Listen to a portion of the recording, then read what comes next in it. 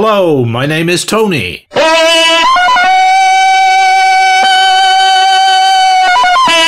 Ah, that's better. Cleared the old tubes. Tarzan's Greatest Adventure is my favourite Tarzan film. Wayne McAuliffe mentioned it in one of his comments, and coincidentally cited it the same for him. Doesn't take much to set me off on a particular course of action, it would seem, but as always, there's more going on here than meets the eye. As a kid, Tarzan flicks were staple viewing during school holidays Christmas, Easter, summer, truant in season, which lasted most of the year. BBC used to screen the old Johnny Weissmuller ones in the mornings, and sometimes the later ones from the 50s and 60s, initially featuring Lex Barker, then Gordon Scott, and latterly Jock Mahoney and Mike Henry. This one hails from 1959. Between 1955 and 1960, Scott played the role in six movies, Greatest Adventure being his penultimate appearance. He was in the first Tarzan film to be made in colour. Once he was done with the franchise after Tarzan the Magnificent in 1960, he spent the rest of the decade making sword and sandal epics in Italy. Well, it's a living.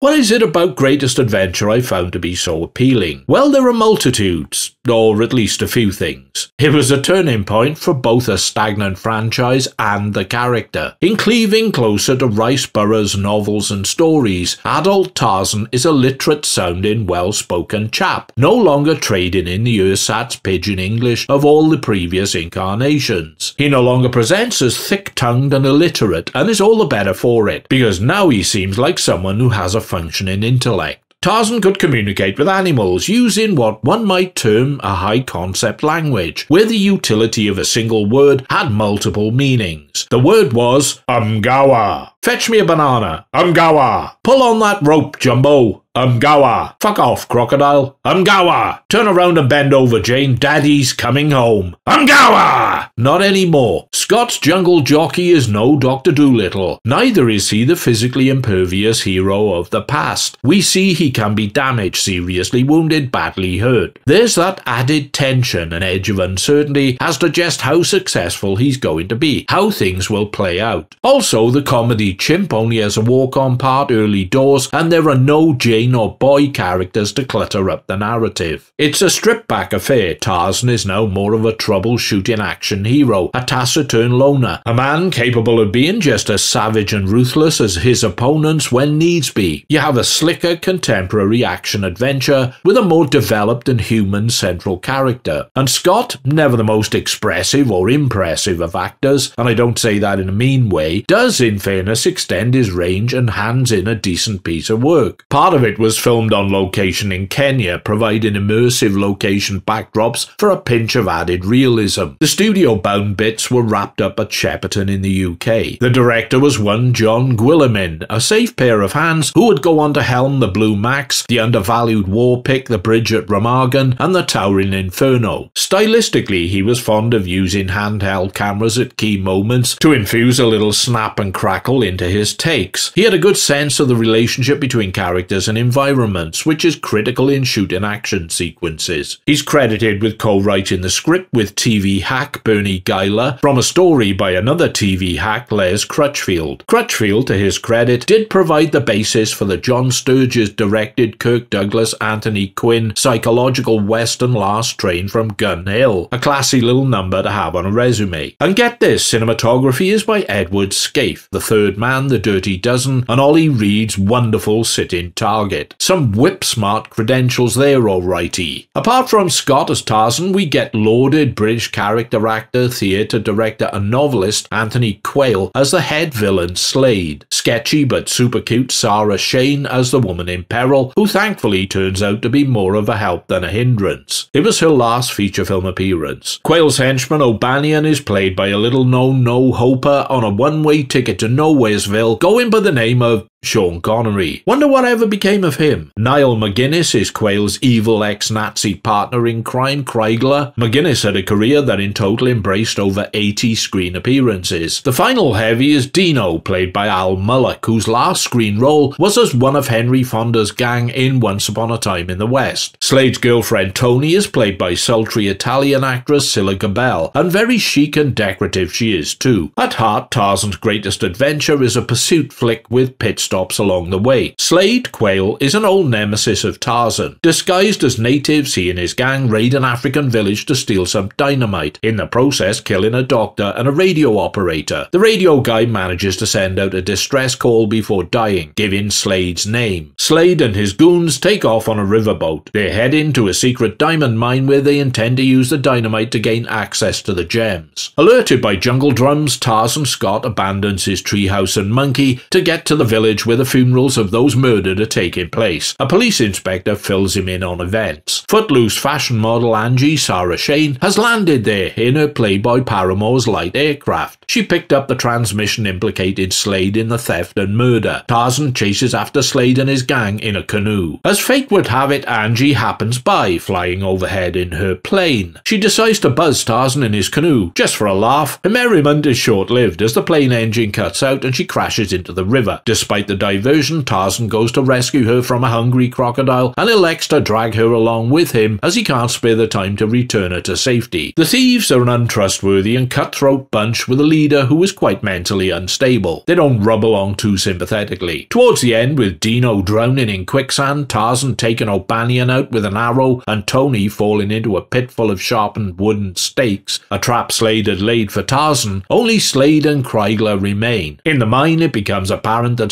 Slade's overriding objective has shifted from obtaining the diamonds to an obsession with killing Tarzan. He's fashioned a wire garrote and pole device for this purpose. It saves his life when Kreigler shoves him into a bottomless shaft, and he's able to climb out and shove Kreigler's ass down there instead. Slade is going quickly off his rocker. The scene is set for a one-to-one confrontation between a wounded Tarzan, he was blown up with a stick of jelly, and Slade on a perilous cliff top overlooking the river. Who's your money on? Ape Man or Criminal Nut Bar? Tarzan's greatest adventure is a vibrant, zingy little slab of rumble in the jungle hokum. Yeah, I know, today it looks primitive and crude, with jittery, unconvincing back projection, cheap studio sets, and low-rent B-movie dialogue. But the enthusiasm, fun, and economy with which it is made are saving graces, and some of the location scenery is impressively striking. Plus, the refocusing of the character is a major bonus. It's something of a revenge odyssey. Tarzan and Slade have a history, and Tarzan is quite definitive that his aim is to kill Slade, and Slade certainly wants to kill Tarzan. It has a tougher edge, a little more grit. The action, too, takes no prisoners, and without being visually explicit, is strongly suggesting of gruesome and sticky ends for some of the characters. People are seen to bleed, especially Tarzan, whose side wound from the dynamite attack lays him significantly low, at which point Angie proves her worth by taking care of him. Her hair hair and makeup are miraculously back in place as if she's just stepped out of the salon. Suppose a girl has to make an effort even in the jungle. The romantic subtext between the two is very conveniently underwritten so that it doesn't get in the way or slow the pace. The final beat 'em up between Tarzan and Slade is pretty vicious and grueling, a punishing battle well coordinated with rapid switches in who has the upper hand to raise the tension level. Naturally, the outcome is a crowd pleaser with only the merest hint of pathos, as Angie sails away on the riverboat and Tarzan returns to the jungle. For the briefest of moments, there is a hint he might go after her. But as he earlier pointed out, this is where he belongs, so he doesn't, so there. Connery displays powerful glimmers of the star quality simmering away in his persona, soon to be writ large with his debut as Bond in Dr. No. Quayle is nicely disturbed and disturbing as the bad guy, and MacGinnis impresses as a sleazy, sweaty Nazi creep who matches him in the wacky, depraved villainy stakes. It's no cinematic masterpiece, that's for sure, but it does what it sets out to do captivate and entertain, whilst tweaking a classic literary and movie hero to return him to his roots and fortuitously update him in the process. Like I said, it's my favourite Tarzan movie, with a Tarzan who never looked more virile and powerful. No homoerotic undertone intended, gays, uh, guys. Innocent, unpretentious, boys' own entertainment at its best, which is good enough for me, pilgrims. Thank you for your time and attention. Do whatever you want to do. Hit like, don't like, comment, subscribe, be a patron on my Patreon thing, make a financial contribution to keep the wheels turning fractionally, and provide me with some coin for my rehab fund. I shall return soon.